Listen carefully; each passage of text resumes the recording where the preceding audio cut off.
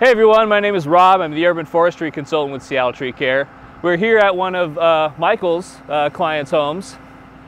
Uh, they have this American elm in the front yard. It's called Ulmus americana. However, when looking at it, we suspect that it's infected with Dutch elm disease.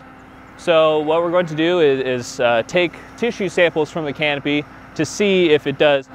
Dutch elm disease is an aggressive fungal pathogen. It tends to block the vascular system of the tree, ultimately killing it within you know, two to three growing seasons. One extreme example of a tree that failed, at least in part from Dutch elm disease, can be found in our tree emergency video, in which an American elm in the public right-of-way failed at the roots and onto the adjacent house.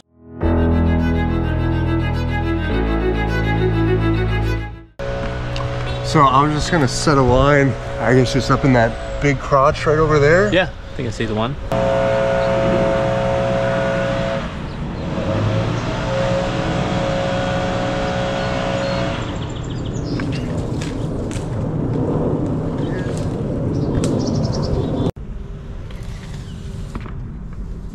Cool. Oh yeah, begin both of them.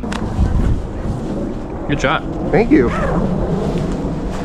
Still got it. Still got it. You got that on film, right, John? No one's gonna believe me.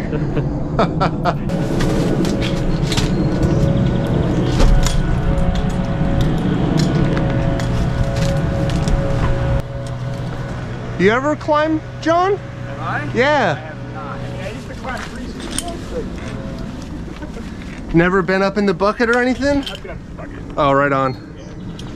Those things are sketchy.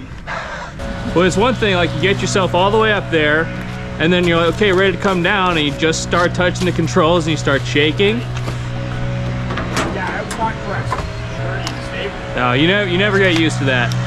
So as you heard Rob mention before, you know, we're out here collecting samples on this uh, uh, American elm tree.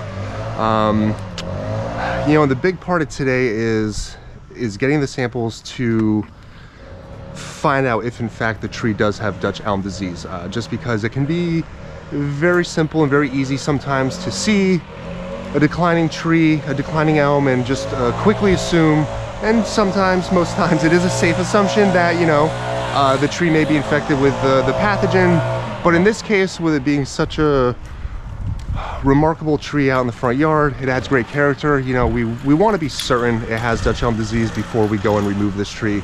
Uh, just because if it doesn't have Dutch elm disease, uh, that may open up possibilities for further preservation of this tree through, you know, risk reduction pruning uh, and possible retrenchment pruning of the tree uh, as time goes on into the future. So it's going to be an exciting day out here.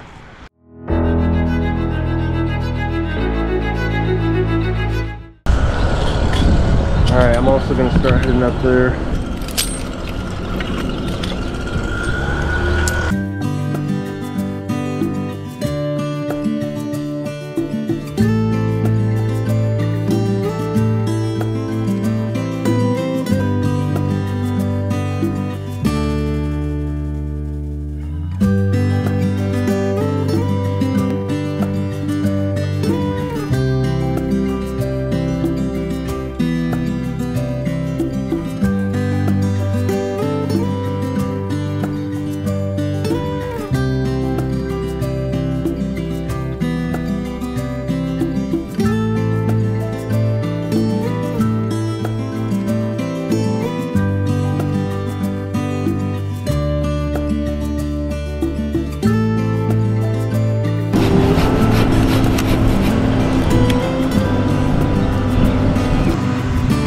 Beautiful day for climbing. Love this job. See the top of the Columbia Center. That uh, municipal building that's just between us and the Columbia Center is where the uh, permit application is actually being processed. It's uh, the Seattle Department of Construction Inspections, the SDCI, who requested that we get a positive test so I'm gonna go ahead here and make a proper pruning cut parallel to the branch collar.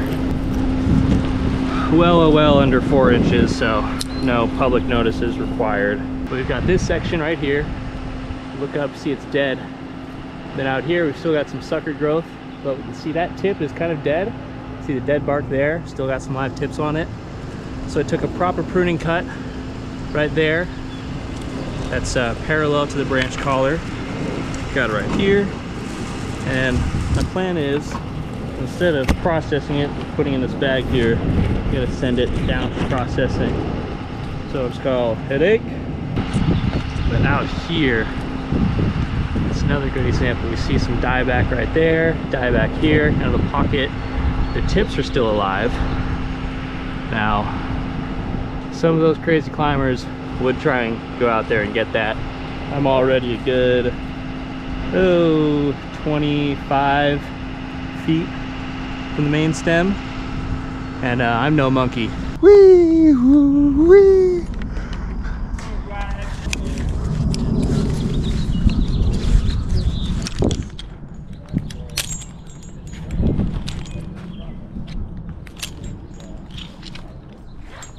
Yeah, this Cool. tree's looking a little toasty.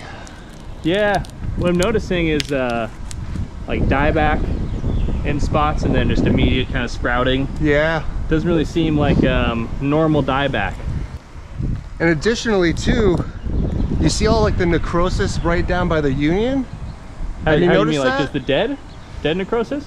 Yeah, there's about like three to four inches where it just gets very black and mottled. Oh, And then, yeah, you see the sprouting directly underneath that, that black.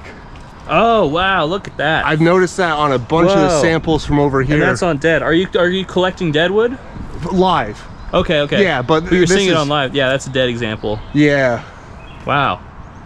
But pretty wild. I've seen it and I got a live one that has this starting. So I was like, yes. I was Oh, like, this there you is go. a Nice. perfect sample right here. Yeah. So I've already got all my samples. I'm just climbing for the now. Yeah, dude. Yeah. Hey, this is YouTube. All right, don't want to get us demonetized with that language. yeah. What do you know about the uh, bark beetle, Michael? The bark beetle? Yeah, that uh, like elm elm beetle. What do you call it? Like elm bark beetle. Well, I know it's a pesky little bugger, especially because it's one of the main vectors for passing Dutch elm from tree to tree. Exactly. The only other vector I understand is uh, just roots. Is- Roots, and there's always the possibility of pruning tools as well. Yeah, that's always Just like humans, Yeah. you can spread disease from tree to tree. So what we'll want to do is we're going to want to uh, spray these down. Yes. Yep, and I have a, a bleach solution back at the office, Nice. or you can simply use Lysol to spray and sanitize as well. But very important to sanitize your tools between cuts, especially if you know you're working on a, a diseased tree. Have you been finding any fungi? no, no, No? no fruiting bodies or anything. We got a whole colony of fruiting bodies on this limb over Oh here. Oh, no way. This has been dead for a very long time. Ah, And I don't even think it was healthy back then. None of these cuts have uh, healed. And this one, for example, is very old. What we're seeing out here on the ends is, uh, you know, this very large decayed limb. This has been dead for a long time, just given the amount of decay that's on it, the bark sloughing off, and, uh, you know, these tall tale signs of these these fungal pathogen or these uh, fruiting bodies that are coming off the limb. You know, these just don't pop up overnight, especially this large. And even if you look out towards the end, here and here and underneath, there are also some very large fruiting bodies. So this fruiting body is not an indicator of Dutch elm disease, uh, but it is an indicator of decay and uh, senescence in the tree and in the limb. So, you know, as trees, uh, as wood decays, other organisms take advantage of that. And in this situation, these uh, fruiting bodies are taking advantage of this branch about know, 30, 40 feet off the ground and looked like at one point they were surviving and they're, they're declining themselves as well. But the moss has taken over.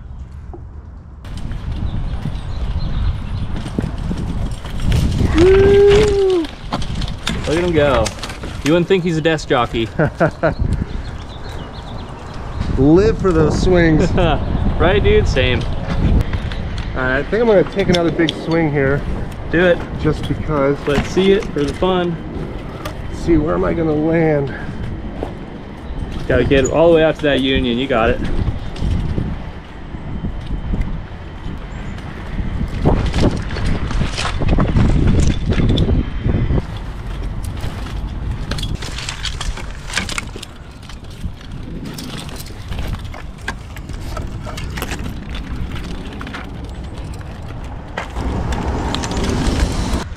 All right, here we go.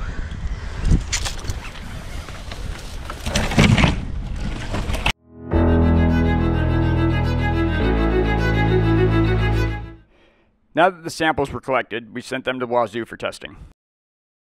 Jenny, the diagnostician at the WSU Plant and Insect Diagnostic Laboratory, begins by meticulously preparing the samples. Each step is crucial to avoid contamination and ensure reliable results.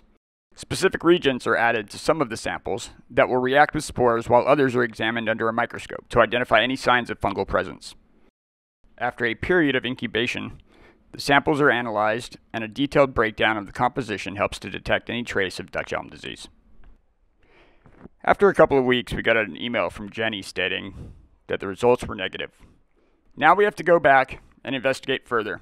What could possibly be killing this majestic urban giant, and what can we do to save it?